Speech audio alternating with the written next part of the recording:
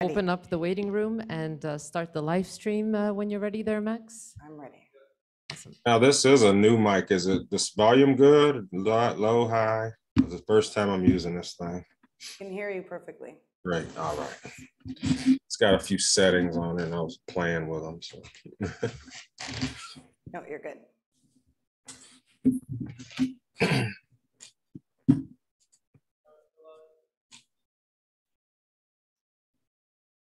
Okay, so we got about thirteen minutes.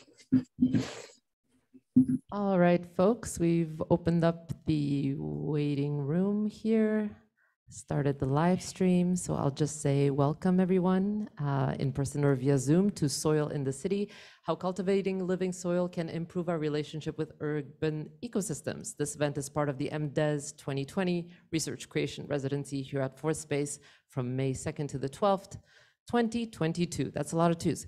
We are coming to you live from Concordia University's Fourth Space, which is located on unceded indigenous lands in Tiohtià:ke, Montreal. At Fourth Space, we work to connect people to the initiatives, research projects, and dialogues that are happening across the university. So we're very pleased to have the opportunity to collaborate with Lindsay Weller, who organized this event, to welcome Marco Thomas in, and perhaps other folks want to jump into the conversation uh, for this presentation and kind of roundtable conversation. So welcome all, and I'll pass it over to Lindsay to say hello and introduce Marco. Over to you. Hi, everyone. Um, thank you for coming this afternoon. I know uh, it's been hard to uh, get people to um, have time to spend on a workshop on a Monday afternoon. So if you are here, I appreciate you making the time. Um, so I've been a fan of Marco Thomas's work for quite a long time and have been trying to my best to follow his practices uh, via social media and a little bit of um, experimentation um, on my own. But uh, it's not as easy as Marco makes it look. Um, Marco's a natural farmer. He's uh, working out of Richmond, Virginia, and he specializes in uh, microbial inputs and and has um, at least engaged with. I'm not sure how much of his systems he developed on his own. He can talk more about that, but he's creating incredible um, soil microbial inputs and building beautiful relationships with these microbes on his farm. And he's going to tell us a lot more about that right away. So I'll pass it over to you, Marco. Thank you. All right, thank you, Lindsay. Thank you for having me here. And yeah, like you said, I am a natural farmer. Um, by trade, I build uh, high-rise buildings, but for the purpose of this, I'm a natural farmer. And uh, you know what what is natural farming? You know, a lot of people hear that term, and I want to give a little bit, um, you know, kind of a description of, of what it is. And really, what natural farming is is it's a way of growing your plants or cultivating crops, and it takes you to a time uh, before there were stores that you can go to buy fertilizer. You know how now, if, if people want to start a garden, the first thing they do, they might run to their big box store, um, buy a few bags of things, and bring those home, and then now you're gardening or farming. Um, and what natural farming does is um, what we what we do is we want to focus on, like I said, taking it back to the time before um, you had that luxury um, and actually probably a detriment to being able to go to the store and buy these chemical fertilizers. Um, you had to make these things on your own if you wanted to grow your crops. And a lot of the, um, a lot of those practices has, have been kind of forgotten, you know, and and a lot of that purposefully um, by you know big agriculture practices.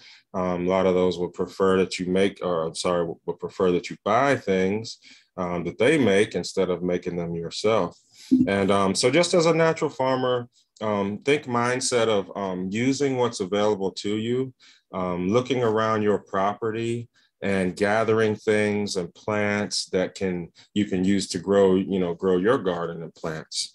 And um, and the major part of natural farming is the collection of IMO or indigenous microorganisms.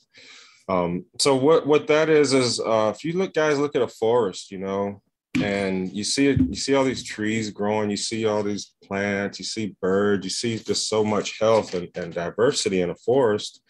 And you know, you got to think to yourself, no one ever had to go out there and fertilize this forest. You know, you have these huge trees, um, abundant uh, plants, so much diversity, and you know, think how how is all that growing? You know, and the way it's growing is it's growing because of the relationship between the plants and the soil food web. And part of that soil food web is the microbiology. Um, if you think about, you know, one of our principles in natural farming is do as nature does.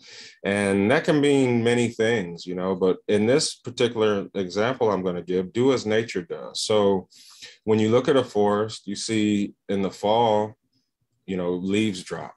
You know, those leaves drop, they lay there all winter. Well, what's happening is when those leaves drop, now the microbe, the microbes in the soil are taking those leaves and breaking them down. You know, you got different things like centipedes from the larger level, uh, so, soil millipedes, excuse me, isopods, earthworms, the larger kind of shredders that I call them. Um, those are kind of breaking those leaves down into the first stage of decomposition.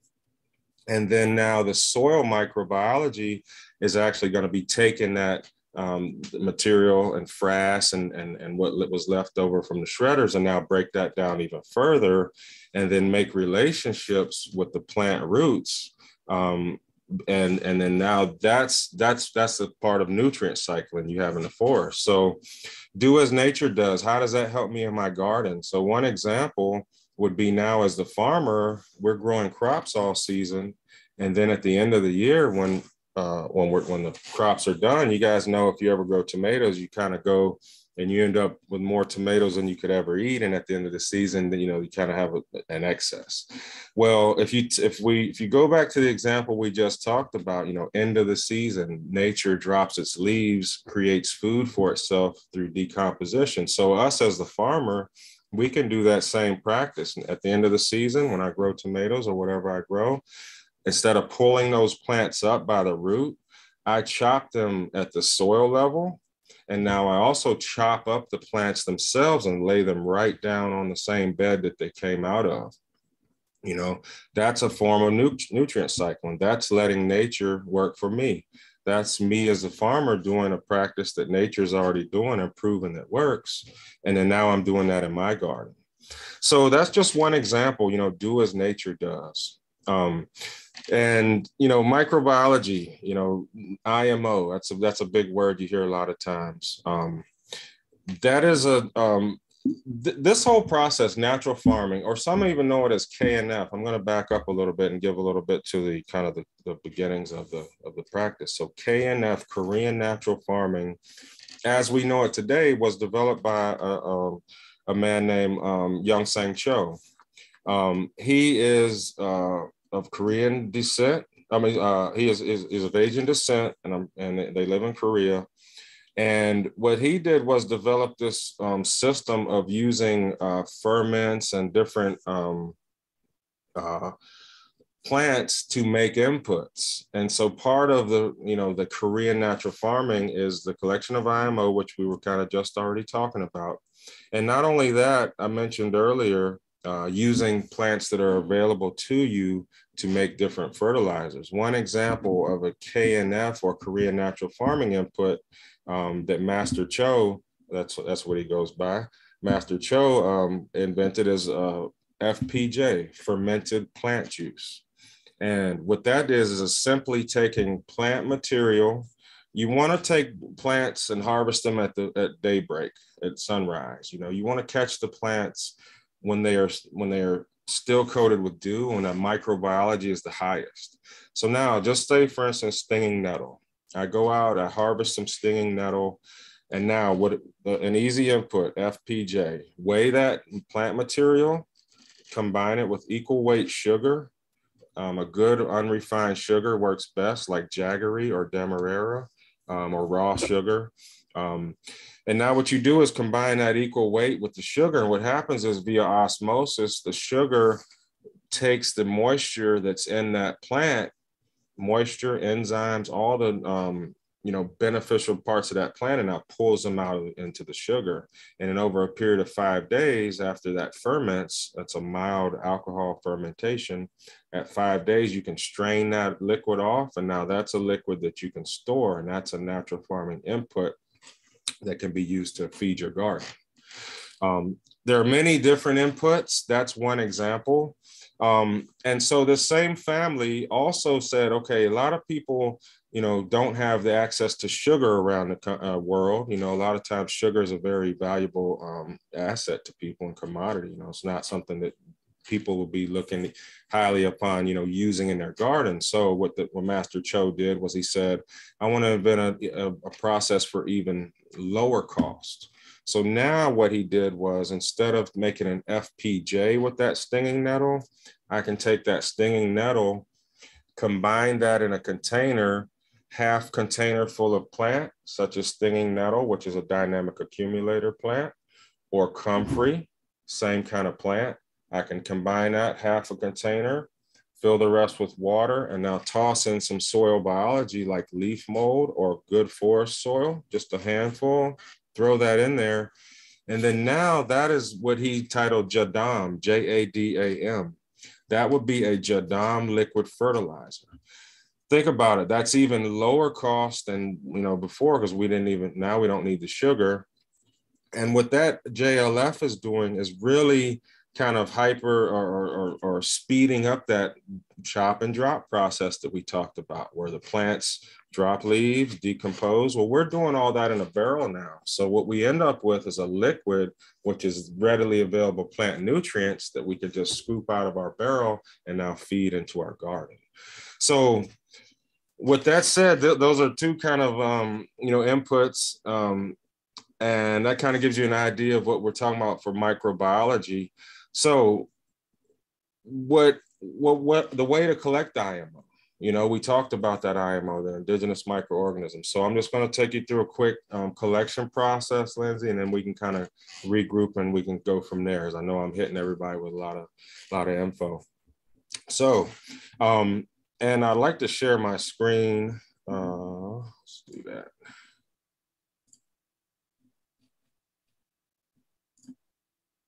Okay, and um, can you guys see that uh, on the side there? All right, so if you look over here on this slide, you know, the picture, you see all this white, um, and you see this white mycelium growing on this log? That is that is fungi. That is decomposition. That is part of what we're talking about the nutrient cycling so when i look for when i go to the forest and, and i want to collect this indigenous microorganisms i want to look for areas like this under the leaves you know i want to pull those leaves back and see where that decomposition is going on now that I've found it, you can do one of two things. I could easily take some of these pieces with me um, and I don't know if I'm still sharing, but um, yes, it looks like I am. I can take some of these pieces with me when I'm walking in the forest and bring them home to my garden. And you can do something as simple as either just put these into your garden soil, or we just talked about the JLF. You can use these kinds of things to be your inoculant as your leaf mold or your to start your JLF, your liquid fertilizer.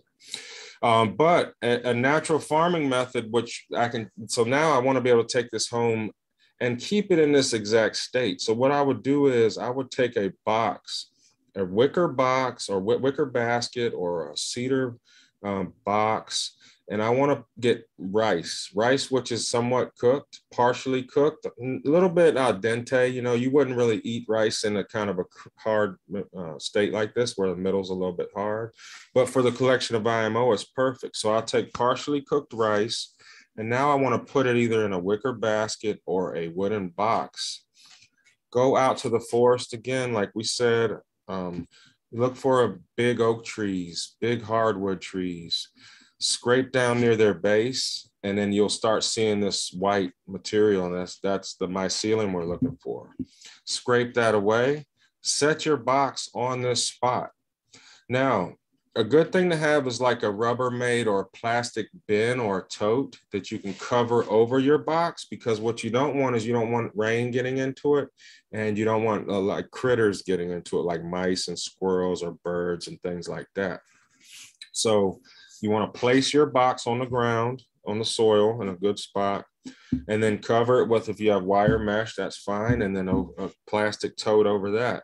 And what happens is now the rice that's in that box becomes a food source for the microbiology that's in the forest floor that's feeding all these trees and all these plants and what that what happens is over the course of anywhere from three to 10 days depending on the temperature rice will colonize i mean i'm sorry microbes will colonize um, your box of rice and then when you come out and collect it you'll see if it's a good collection you'll see a lot of white fuzz you want to see white fuzzy mycelium because that's that fungal decomposition that we want into our gardens.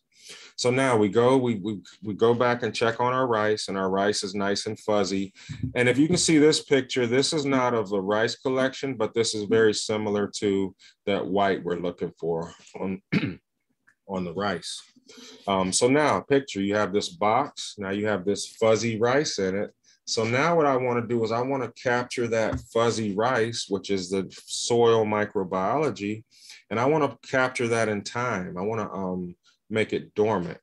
And the way I make that dormant is I do it the same way as I talked about that FPJ earlier with sugar. So I want to take equal weight. I want to weigh that fuzzy rice, and I want to and I want to take equal weight that rice, uh, which is IMO one, indigenous microorganisms one combine it with sugar, mix it up, knead it together really good. And then now that paste can go into a jar. And now that is a shelf stable form of indigenous microorganisms that you can keep in your in your house, on your shelf, in your shop.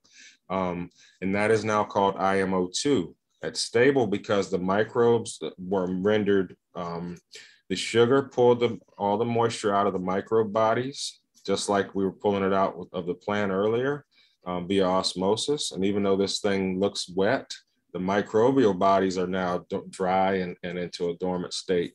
So now when I have this jar of uh, sugary rice, that's my IMO2. That's one collection.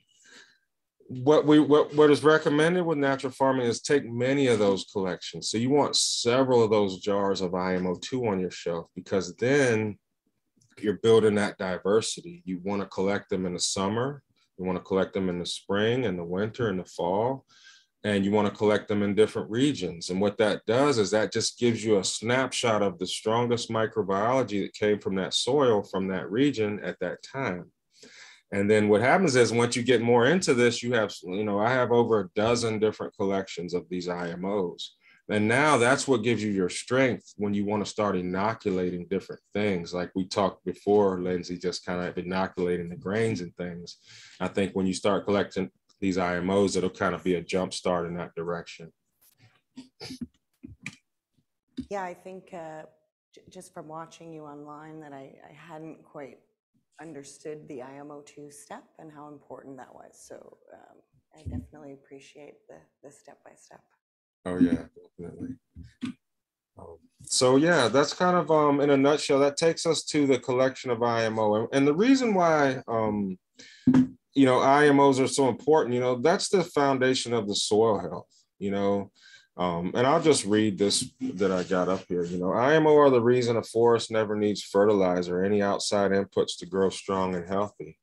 IMO are at work nonstop breaking down organic material such as leaves and fruit into readily available plant nutrients. IMO form symbiotic relationships with plant roots. Think mycorrhizal fungi and nitrogen fixing hmm. bacteria in legumes. The plants produce exudates that are preferred by certain microbes, and those microbes in turn reward the plant with nutrients or the ability to absorb more nutrients. Natural farmers should look for strong growing deciduous forests and collect IMO at the base of big trees. IMO is collected with par cooked rice, placed in a cedar box or wicker basket and left on the forest floor for a period of approximately three days to a week, depending on how warm the temperatures are. If it's really hot out, 90 degrees, 80, 90. Three days is going to be really the key, sometimes two. Um, when it's cooler out, it'll go a little bit longer. You'd be up to a week or 10 days. Um, uh, once the rice has been inoculated, and that's that fuzz we talked about, that's our IMO1. Combine equal weight IMO1, unrefined sugar. This is called IMO2 which was made shelf stable as the sugar pulled the moisture out of the microbe bodies, rendering them dormant until they are rehydrated. Uh, the farmer is encouraged to take many IMO collections around the region in different seasons, use them to maximize the microbial diversity in their gardens and fields. The simplest way to use IMO2, take that jar, roughly a teaspoon per gallon, and, and that's a, and mix that into a gallon of water without chlorine and just pour that into your beds. Um, if you want, really want to maximize your IMO, that's when we got to take it farther. We got to take it up to IMO three and on into IMO four. Um, that's where we IMO three is where now we're taking um, these microbes and we're starting to inoculate grains and different substrates, mm-hmm. and now we're taking those microbes and we're multiplying them. If if the rice, the initial fuzzy rice collection was one X, then if you look on this mm-hmm. slide, this is a piece of mm-hmm. IMO4. If that fuzzy rice was 1x, this is probably 10,000x. That's how many times we've multiplied that biology, the strength of it, you know, and what that does is that that that's going to give us our nutrient cycling in our soil. That's what's going to make our plants healthy. You know, it's not all about you know buying a fertilizer and pouring it in. The reason you buy that fertilizer and pour it in is because you're not nutrient cycling. You're not focused on the IMO. See that IMO when it's in your soil, that's going to give my plants way more nutrients and much better, cleaner nutrients than you could ever get out of you know a bottle of a synthetic fertilizer. Um, so that's why it's important to make these things because another part of it is, you know, everyone talks about, you know, regenerative and those things are wonderful. And, you know, everyone talks about organic. Well, you know, just because something has an organic label, uh, they're still allowed to use many different chemicals. Um, and and also not only that, you still don't quite know what all was going on with that food um, that they grew in that organic way. So I look at natural farming as an ultra way, ultra organic. You know, it's beyond organic. It's it's so clean because I'm literally growing plants that I'm using to make fertilizer. So I'm so I'm closing my loops. You know what I mean? And and closing loops is a big thing. Um, another thing with natural farming, um, food waste. You know, we don't want to waste our food scraps. We want to reuse those. You know, um, there's some uh, composting methods called bokashi out there, which I like to do bokashi. Um, you guys can read up on that. But, but what bokashi is, is, is an inoculated grain um, that's been inoculated with mainly lactobacillus or bacillus bacteria, which are kind of your fermentation bacteria. And what happens is, is you can put food waste into a bucket and then you can sprinkle on these grains, which have been inoculated with uh, bokashi and then you can seal that bucket. And what happens is, in a period of two weeks, the uh, microbiology inoculates all the food in that bucket, breaks down those tough fibers. For instance, if you were to put an apple in there, you know how guys an apple is, it's kind of firm. Um, once you come out of there in two weeks, that apple's very mushy, very soft. All of the all of the um, tough fibrous components of that are pre-composted if you want to look at it like that. And what happens is now say if i bit an apple and then i said i don't want it anymore and i just buried it in my garden it will take time for those nutrients to become plant available. Let's say if i take an apple put that in the bokashi bucket and then two weeks pull it out now put it directly in the soil. Now the soil biology and the plants immediately jump on that. they immediately can get in there and start feeding off that. So what bokashi is a good way to, you know, speed up processes as well, you know, and and uh, and fer- fermentation is kind of part of decomposition. Um, you know, when things break down with water, you, you kind of that's kind of part of the process. Um, so I just kind of wanted to briefly mention bokashi and food scraps so people can at least look it up and kind of dig into that a little more. Um, but yeah, so for most part, um, that's kind of we can stop there at microbiology, Lindsay, if you want to go into some Q and A or, or, or whatever you want to do. Well, can you um, Uh, thank you so much for such a, a detailed description. And I, I, definitely, like I said, hearing it this way, I'm already grasping the process a lot, a lot more. So it's really exciting for me to hear you go into detail about your work. Um, when we spoke the other day, we touched on a little bit, uh, um, just because I'm really interested overall in in sort of supporting and fostering um, and and increasing the use of and presence of indigenous indigenous plants in cities, and um, I know I'm not alone in in in having difficulties sometimes in dealing with, especially wild collected indigenous seeds um, and getting them to start. And I think that that aspect of some of these plants is why people tend to avoid them. Um, so you mentioned a, a, technique that you that you use a little bit, um, for, where you soak seeds ahead of time in in one of your um, microbial mixes. So I was wondering if you could elaborate a little bit on that aspect of your practice. Yes. Um, yeah, seeds, uh, seed soak solution. Uh, for some reason, the initial is SES in natural farming. so, uh, but we call it seed soak solution. And what that is, is it takes three parts of natural farming, um, our OHN, and I didn't talk about that, but OHN stands for, um, it's an herbal nutrient. It stands for Oriental Herbal Nutrient.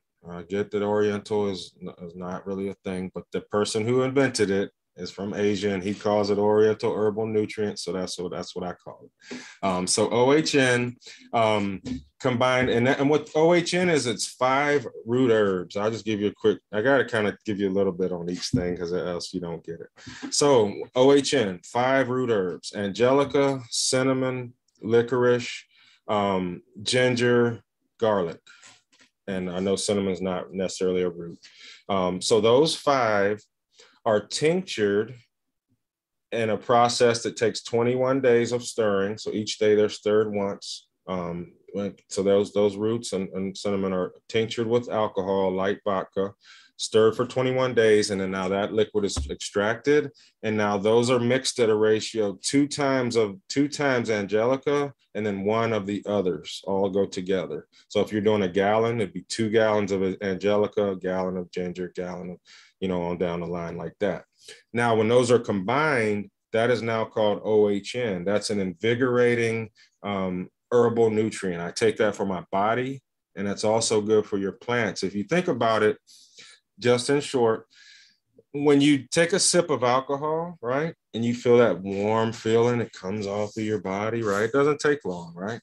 Think about that. So we've tinctured those um, those beneficial root and, and, and cinnamon um, into alcohol. So now those five together, they're very invigorating. So when I sip that, that goes straight into my body. It takes all five of those straight out all the way into my body, just like the alcohol does, because they're riding on that molecular level. Now it's the same for my plants. So I use OHN as one of the things in the seed soap, soak um, and FPJ, which we mentioned earlier, you know, the, the plant and the sugar extracted after five days. And then a raw vinegar. In, in natural farming, they use a lot of brown rice vinegar. I make my own vinegars. So those three components are the light dilution, um, uh, roughly a thousand, one to 1,000. So one teaspoon per gallon dilution. Um, and now soak your seeds in that if you've got a tiny seed, you know, you got to go by the size of the seed. So if you think of a tobacco seed, just a little speck, you know, you, that would be like a soak for like 15 seconds and plant, you know, so, so quick.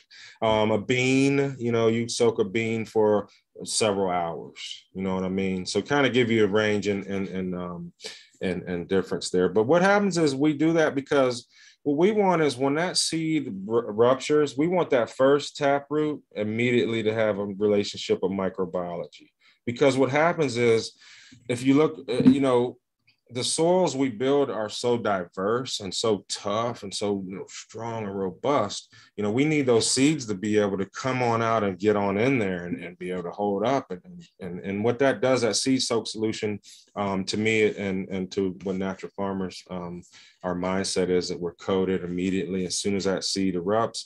Um, and not only that, it, it also is because, you know, when a seed, um, when a seed um, sprouts, water has entered that seed, right? So liquid had to enter that seed to get the process started. So we also want that first liquid into it to be kind of that invigorating with the OHN, FPJs, and a little bit of that microbiology. Um, and that just gets the seed started off really quick. Now, the same thing goes for trees. If you wanted to transplant a bunch of your reeds or trees or whatever it may be, when I get trees, I'll knock the root, the dirt, dirt off the roots I'll make a SCS the same way, seed soak in a wheelbarrow now. Boom, set them in there overnight. And then that just gets your trees jump started the same way. So I think that'd be a really um, good way for you to kind of get into, you know, kind of get those indigenous uh, plants going. And also, since we collect indigenous microbiology, um, you if you wanted to do seed balls, you could even collect the IMO make your clay seed balls with that IMO in there and now scatter those out with your indigenous, um, you know, plants and get it and really probably get those started off nice. Yeah, because you know the whole like concept of guerrilla gardening. Like people keep sending me this video. It's like viral on TikTok, and it's a skateboarder with a shaker of seeds. but um, I, I I don't have a lot of hope for some of those seeds just because of the conditions in in the in the city. Um, mm. I guess I was going to ask you. So, so the FPJ, you're using like a fresh plant that you're just chopping down, and then yes. and so what about like would a seed soak? Because you mentioned you take IMO two teaspoon of it into a gallon of water. Like, could could there be a way to also increase some of uh, include some of the collected microbes um, into that soak, you know, or or am I getting that already from the say if I did a stinging nettle FPJ? Yeah, I mean that's a great question. I think that could that that's not a bad idea. I haven't thought to add the IMO two into my um, seed soak. I have to think about that, but um, I may do that and uh and have to shout you out because that's a great way of thinking. That's the mindset we're on right there. And that's yeah. yeah. Um yeah, it just it, it makes me really curious about, you know, why not to adding adding that in and if maybe because I'm I'm wondering what it is, you know, about indigenous seeds that make it a lot harder. Is is it I'm curious, is it because of the lack of and sort of absence of that microbial life? Um, and that possibly these more cultivated and and um, processed, you can say seeds. I, I just I get I get a feeling that they're bred to start better in sort of unnatural environments, and so instead of trying to have um, a seed work better for us, you sort of ontologically ask what the seeds need. Yes. Um, and then I guess I'm just sort of wondering, do you have you ever imagined eh, some of your interventions on a more, uh, you know, broad scale? Like, could, could this, you know, let's say, like, I'm just really interested in like brown sites or the sides of railway tracks, and it just seems like there's such a lost opportunity to create habitat in, in cities.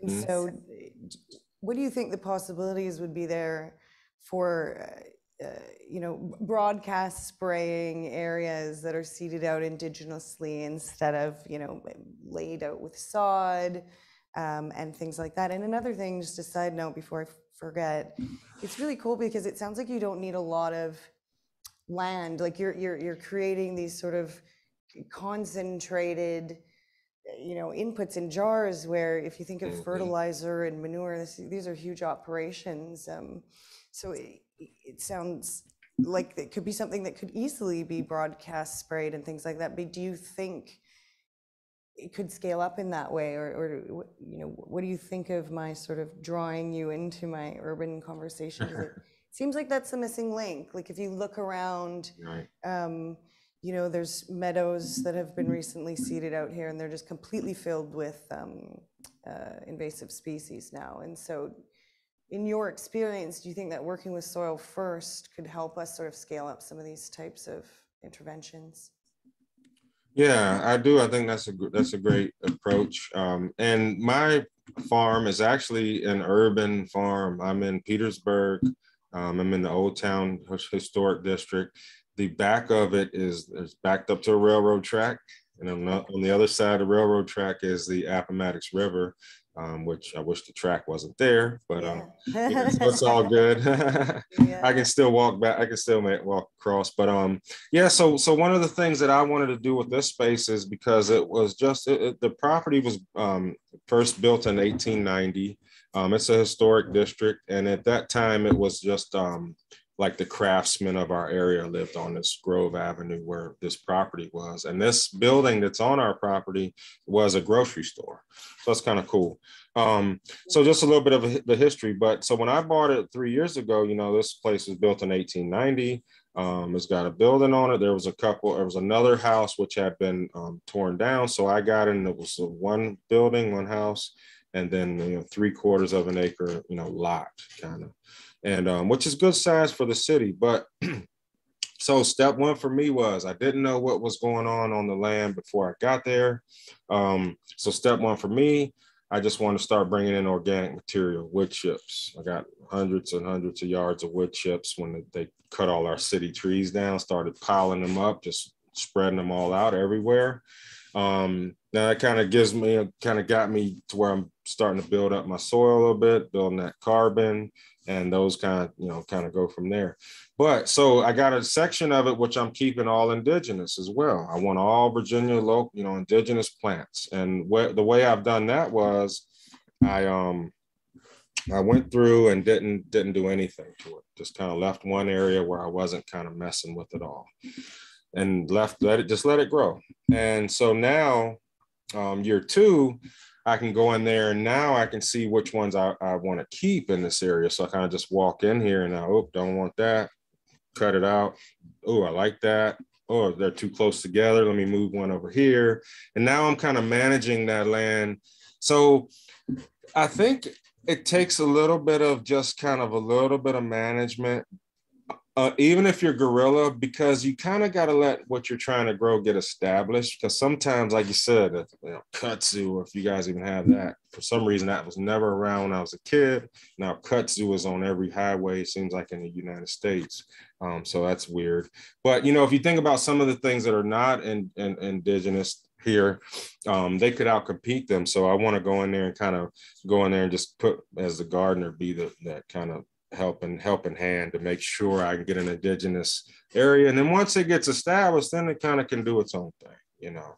But um I forgot kind of how what your question was, but I think um no, no yeah, I think we're on the same page. Scaling it up and being the city, and you just um, touched on something that you know it it is like I want to ultimately maybe build on this knowledge. I really like the idea of seed ball or, or some kind of we talked about me being interested in using mycelium as more of a scaffolding, but until today, that process, the, the, the osmosis thing with the sugar, I wasn't um, as aware of. And so, yeah, I, I feel like I'm leaving today with maybe some tools to practice a bit more.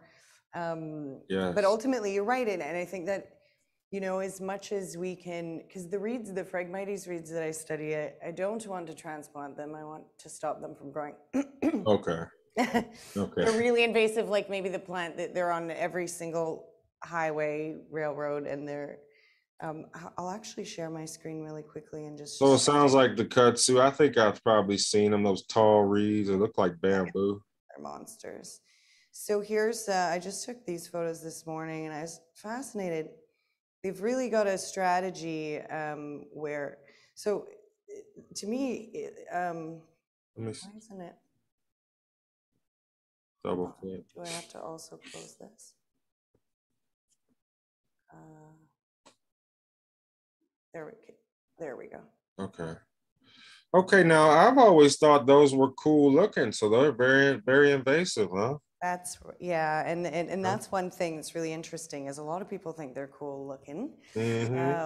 Um, but, uh, but what, what I, what I thought was a little bit interesting in this picture that I'm pointing out is they've got, they're almost they've got all their bases covered in that the thatch that you see here. So they grow straight from the ground up every year, um, like bamboo. Um, so you've got all of this debris, as you can see, that is. I'm really curious about how we can sort of repurpose all of this material, possibly into some of the IMO processes that you engage in. But what I thought was really interesting here is, is um, this is newly seeded out area. And it's, it's got this advantage in the spring. Like I'm not seeing a ton of uh, seasonal advantage from the Mhm. existing stands. They're not getting direct sunlight. The thatch is super, super thick and it's, it's slowing them down in the existing stands. Whereas they're, they've compensated by this biologically because they have so many seeds that this is just, the size of this stand is doubled, um, eh, eh, doubling just this year. So, but I do think that noticing the, um, um, how it slows itself down with the hatch is super valuable information for controlling it. And then sometimes it just, cities, like, I'm sure you do this too, if you wanted to, say you had existing grass and you need to get rid of it, or weeds, for example, it's just a really simple solution of Cardboard. covering it. And so this is, these types of things um, is what I'm not seeing city, like, it just seems like, uh, the reason why I wanted to bring you in, I- I guess, oh, you can't see the phone. Yeah, let me see that. Sorry. One second here. I have to do this. Voila. Okay, yeah, that, that's covering is key, and that's kind of why I brought in all those wood chips because we had a lot of Right. Bermuda gla- Bermuda grass, which is a pain in the butt. Yeah, Um, yeah, and I, and the chips helped out with that a lot. Okay. So I was wondering, was the grass winning or were the reeds winning? But you say the reeds are kind of still winning over here, huh? Well, these, all of this, what looks like grass is, I'm, it's, I'm positive it's, it's Right. uh, just baby reeds. Oh So, no! yeah, like, uh, Oh god! here's a close-up of them. Yeah, you can Oh, just tell that it's, it's not grass. It's, Does uh, anything? Wow! I bet not much eats that eats it either. Yeah, yeah. So, um, what I'm, I guess I thought I'd pick your brain a a bit about quickly is like, if I get wood chips, and then would I ever consider, say, inoculating those wood chips beforehand if I wanted to? So let's say, for example, I went onto this site. I didn't. I did it wrong again. I keep my tech skills are lacking here. Okay. So let's say I went to this site, cut the reeds down, and, and my vision is, you know, you learn when the seeds are not ready to let go, cut before then. Um, and then let's say we covered, or even the existing thatch, maybe we're just laying what's there down. Would I inoculate that ahead of time, or, or is, like I know, say for example, wood chips, eh, you seem to, I've read some studies, that the microbial uh, buildup happens really quickly, but yeah. in my experience, these are so waterproof. They have this almost um, metallic sort of sheen to the interior of the stem sheaths, and they're quite resistant to breakdown. and um, yeah, so what do you, what They do you think about that? Would I cover them with additional wood chips, or you know, do, do you have any thoughts into if I were to cover like a really aggressive stand like this? Would it just be about blocking the light, or would I right away? Could I bring in something else, maybe IMO two or three or four, and and have more of a sort of systematic um, um, attack on? on Well, the thing is, if you bring in the IMOs, the IMOs are just going to probably just hang out and make relationships and build Right, and feed them. soil for them. You know what I Mhm. mean? Mhm. Um, but it looks like if you could get them shredded up or chopped up, they could be used to make IMO three.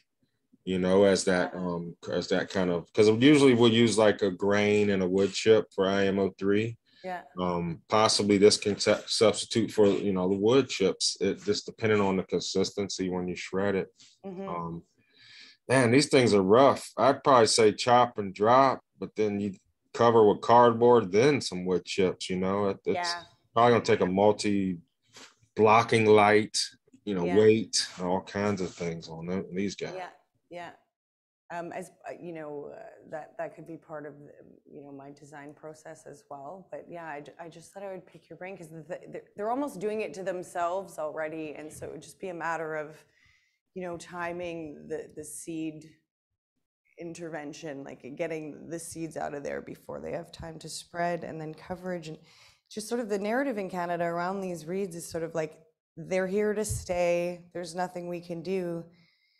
But then I'm then I look at your work and just what I see like backyard gardeners doing with these simple like, you know, they're they're one thing about them is like again tapping on like you know what does the plant want, what does the microbe want.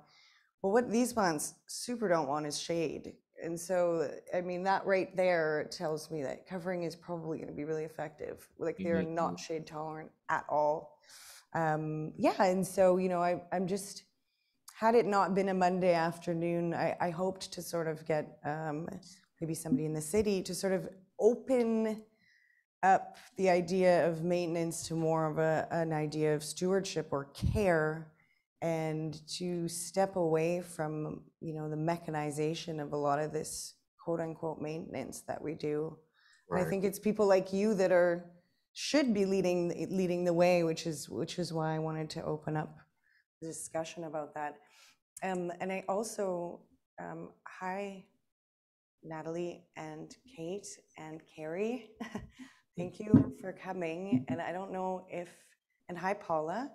Um, do, do any of you have any questions? I know Carrie is uh, my former business partner in Winnipeg, and Carrie and I worked a lot on uh, experimentation with different ground covers, um, and she's probably been working more closely with indigenous plants than I have. Uh, let me stop sharing. In that, at least in the past two years. So I just wanted to invite any comments from you guys, if there are any, but it seems like maybe not. Um, Yeah, Uh, sometimes it's a little bit much, but hopefully some of these things will kind of spark Hi, a little interest. Hi. Hi, sorry to interrupt, Marco. Hey, no problem. Go ahead. Or are you just saying hi, Care? Oh, I was saying hi, and then I'll uh, I'll have a little uh, chat after Marco's finished uh, his idea there.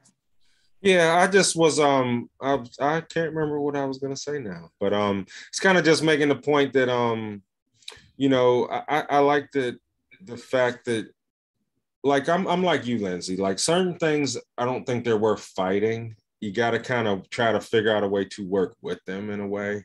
Um that's kind of tough, but maybe like you said, if you can figure out that way, you know, if it's a certain crimp that you should that you need to do on them while they're standing at a certain time before Yeah. season and in certain coverage and a certain process, maybe that could work.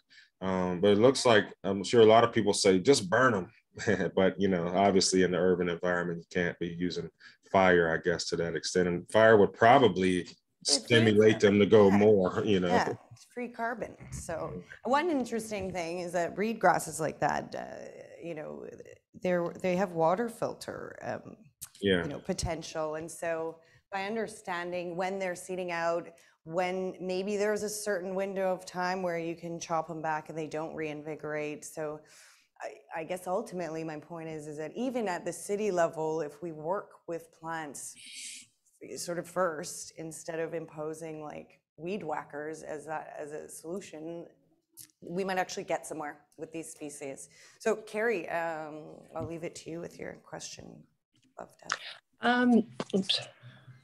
Hi. Oh, there we go. Um, yeah, I guess uh, I was just sort of following along, and uh, um, it is quite interesting what uh, like to build the soil first and to work with. Uh, I liked your comments about uh, getting those guys while they're thatched and in the spring, that kind of thing. So I guess looking at all the different species and seeing what their needs are, and then having to um, sort of adapt your pra- your practice to species specific um, uh, things because uh, fighting against uh, stuff like bellflowers continually or you know and put having to put up sort of physical blocks so that they don't uh, come over that's uh, that's a lot of what i'm dealing with um, trying to have stuff like thyme or having uh, creeping jennies or oat grass as a uh, ground coverage instead of um, you know the the native invasive species uh, it's uh, it's interesting I, I really enjoyed what you said about uh, uh, sort of picking out a seasonal spot where it's like, oh, okay, this is sort of where they're not growing as fast, so we can get in there and do something about it. Mhm, Uh, mhm, mhm. Yeah. Yeah, And- the bellflowers in Winnipeg, you know, that would just, just as interesting as, as the reeds here. They're really problematic and you and I both, like working together, I mean, it's, it does feel impossible.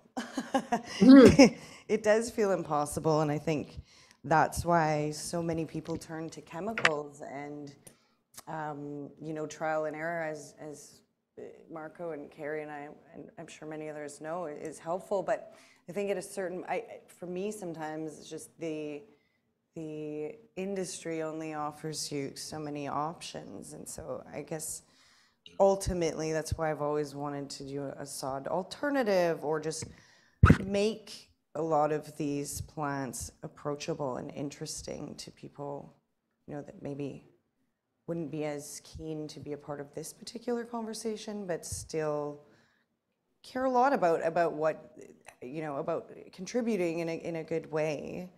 Um, but Carrie can attest to this. It's it's hard to convince a client to go the better way or more sustainable way when it takes longer, is harder, is you know more challenging. Um, so I, I just sort of want to bridge that gap somehow. And as much as I do want to uh, individuals, you know, that maybe hire a designer in their own yard to make better choices. What I discovered, I just, it's sort of like with anything else in the food industry, it's, or, or recycling. You can recycle things and you put it in the bin, but then the city just sells it and ships it to the Philippines. Like at a certain point, there's only so much residents can do in their own yard if we're literally uh, building like super highways for these these invasive plants to grow. Um, so I really think that bringing practices like Marco, or even just your your average gardener in a city, I think that we've overlooked some of those things, and that maybe we can humble ourselves and scale up on some of these simple solutions. So, I think education is key too, like this, like you guys are doing, because you know, if you know, having people identify these things early, you know, if you got a small patch of this reed, you know, if you can identify it quick, you know, maybe people can start, you know, tackling it that way and just dig it up early, you Yeah. know, before it can get a good foothold. I think ID is probably key, education, and like you said, first thing I said, oh, those are cool. Well, maybe it's part of it is educating that, hey guys, these may look good, but this is an uh, you know an invasive species, and then here are the reasons why we don't want it here in our local area. That's right. Yeah, without that. exactly. Um, and does anyone else have anything they'd like to add? Or any more questions? I, I could ask a few more, but I'd like to open the floor to other people. I think we're good.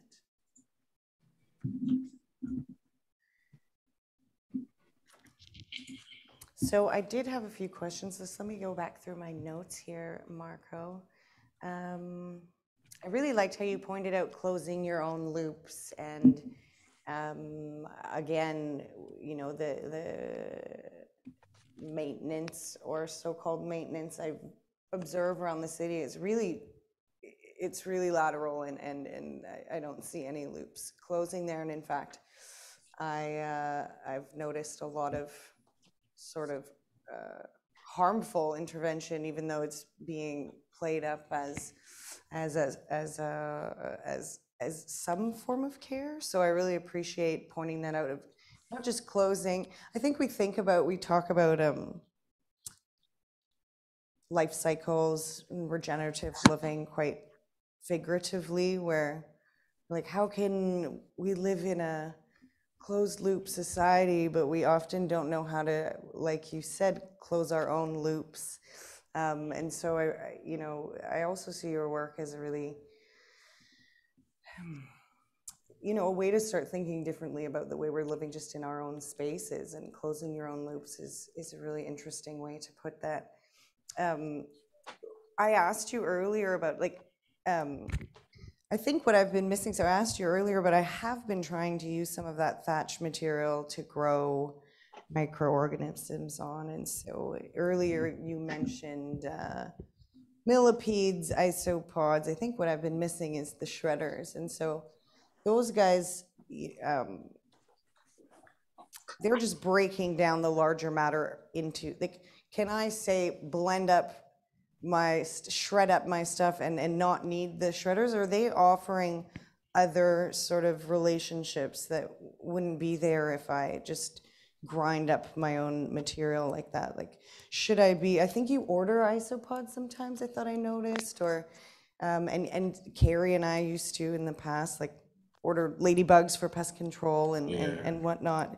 Um, is that maybe what I'm missing, or, or it's because, I guess, what's the process, how about that, from going IMO two to three? I- You didn't spend too much time on going from two to three to four.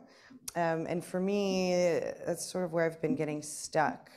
Um, For anyone that wants to try the, the collection process that Marco described, it's really easy and fun and, and satisfying. It, it really, you really do get that white fuzz and, and it's cool. Yeah. And also, Marco, the rice itself, like um, the mold contamination, like sometimes, you know, I'll get a bright pink or a bright orange, you know, um, mold, and I'm unsure if it's like an indigenous organism or if maybe I, my it's it's from the rice or possibly, you know, I've should I worry about sort of getting lots of different colors in some of those collections or Uh, yeah, I don't worry about that too much. Um, you know, because what happens is the, you know, the, the different colors are different colonies of could be bacteria, could be a mold, could be this, could be that. You know, something came. It's some, usually something that came out of that soil. So part of the process is you know trusting the process and understanding that you know one of the principles of natural farming is good and bad are the same when things are in balance. So you know Mhm. everything, even even soil have, will have anthrax or have every soil have something in it that if there was enough of it, it would be a bad thing.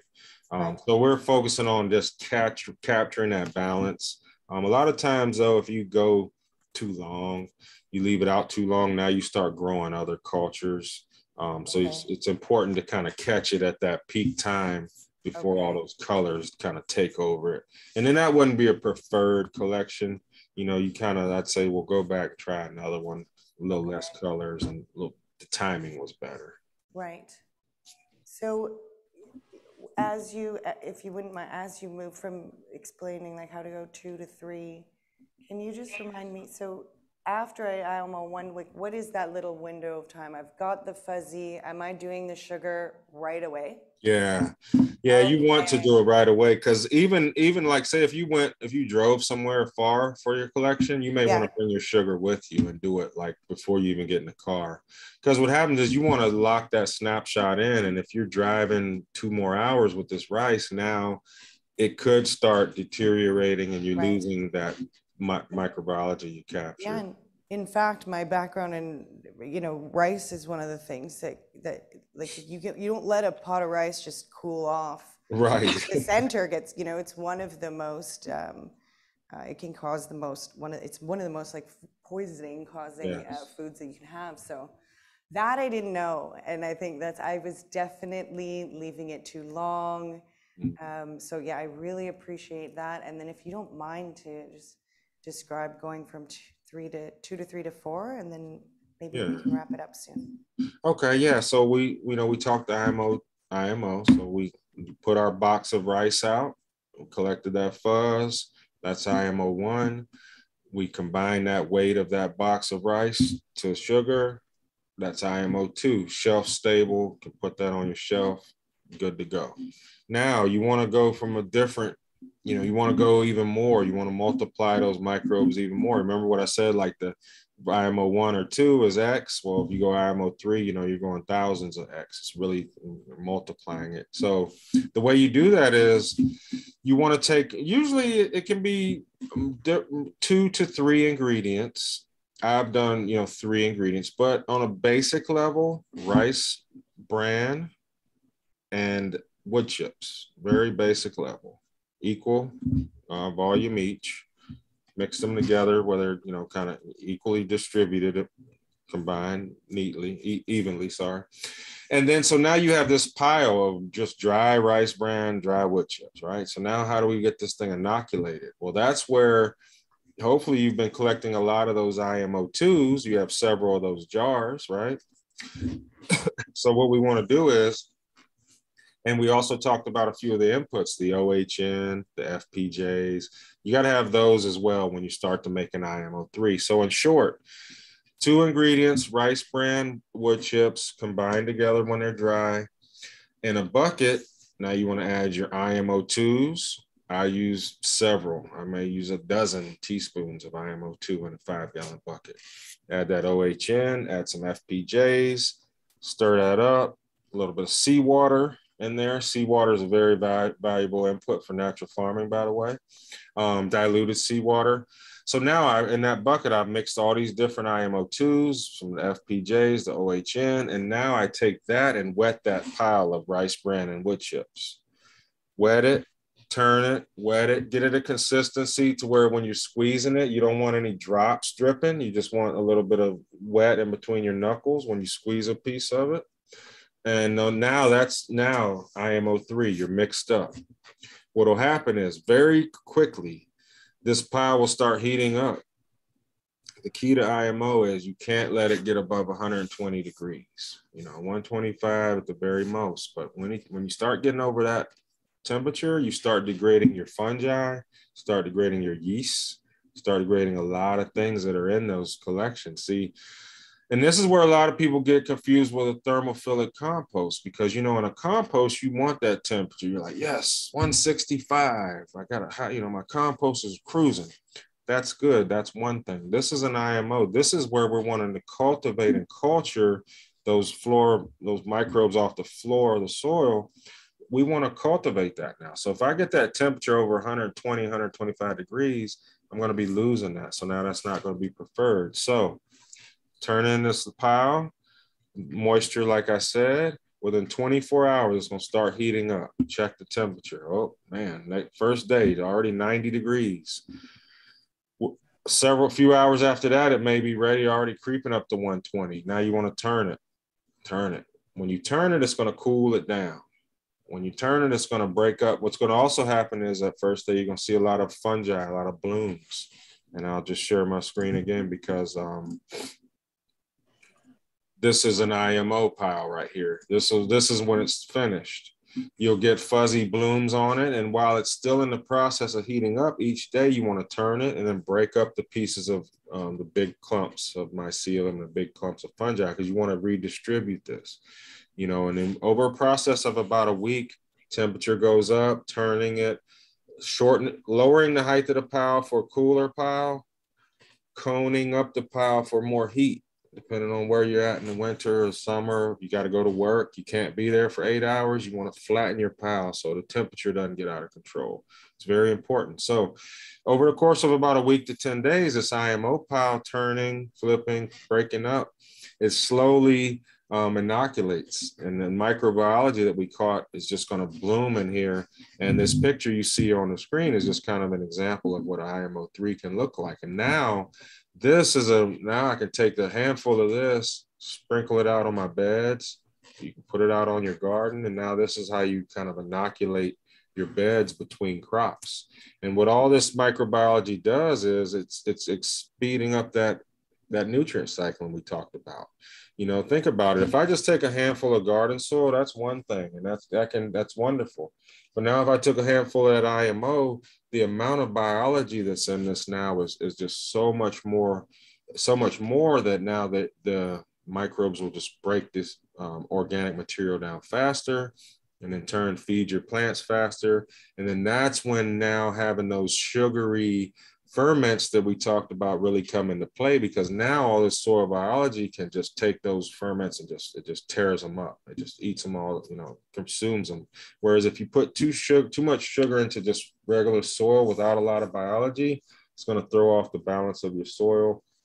The biology won't be able to consume that energy fast enough. Um, and that's kind of the importance of an IMO3 pile. And then if you take that another step forward, so you went 10 days on the IMO3, now you have this pile of rice bran and wood chips, which is very fuzzy, loaded with microbiology. Um, but now we want to introduce some of the garden soil into this picture, right? So now the IMO3 is all just kind of what we collected from the forest. And now we're, back, we're back on our property. I want to mix IMO3 by weight with my garden soil, like my soil pile that's outside.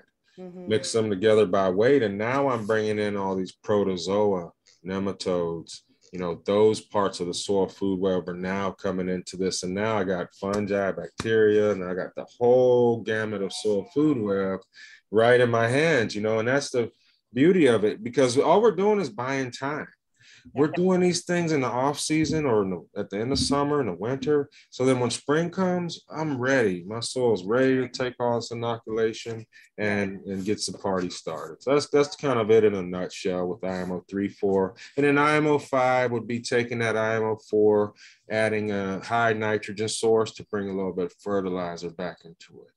Um, that's right. So and a high nitrogen source could be like manure. You don't do manures, you can do things like comfrey, dead nettles, things like that that are partially kind of decomposed. Okay. Um, shoot, I was going to ask one more question. I. So I don't know if anyone um, has any, any last comments or questions. I invite that, but otherwise, um, can wrap it up soon. I know uh, Marco might need to get back to work. Um, uh, I, I, saw that uh, uh, we're recording. I was wondering if it's possible. Uh, there's a few areas of your discussion that I'm super interested in, but would uh, need to do a little bit of research to understand a little uh, a little bit more about it. Um, is the recording available, Lindsay? Yeah, um, right, Anna. It'll be available on YouTube. Um, oh, cool. Yeah, and I'll be able to share a link. And also, I was thinking of maybe going through the recording and um, typing out a little like step by step, and I would maybe run it by you first, uh, Marco, but something that I could. I know I'm going to have a few people um, wa- watching the recording, so if it's all right with you, Marco, I might, you know, type out a little IMO one to five step by step thing. Maybe throw your logo on it, and that's something I could share with you, Carrie, alongside the uh, the link. Um, that would be lovely because there's yeah. uh, there's some things I'm quite curious about, but I just don't have the knowledge to be able to interact and ask the questions. And I bet you I will have some later. Yeah. So that would be super helpful. For sure. And I think that's what you guys were talking about for education in general, right? Exactly. It's good to start there. Yeah. Yeah. Beautiful. Definitely. And also, you can follow my Instagram. I go over a lot of these processes and have some videos and things. Perfect. Um, I typed it in my name there. Oh, you did? Yeah. Marco underscore is underscore growing.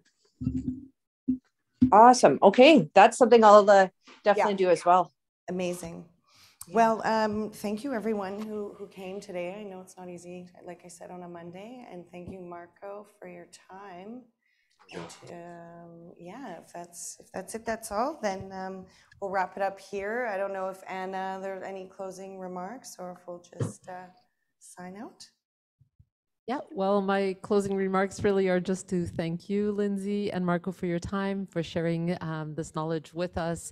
Um, I agree with Carrie that it's um, it's good to have it recorded so we can kind of play back and learn step by step from everything you shared with us today. Yay, knowledge! All right, awesome. Thanks, Lindsay, for making this happen. We appreciate Thank you. who were able to also join us uh, by uh, by Zoom. Uh, thanks for taking the time. All right, folks, we're going to close it up and see you next time. We invite you back to check out the, the ongoing schedule of events for this week that the Masters of Design students have put together. Go to concordia.ca slash four and you'll see the full event calendar there of daily activities. Perfect. On that note, bye Thanks, everybody. Winnipeg, for showing up. I appreciate it. Thank you. Thank you. Thanks, everyone. Bye.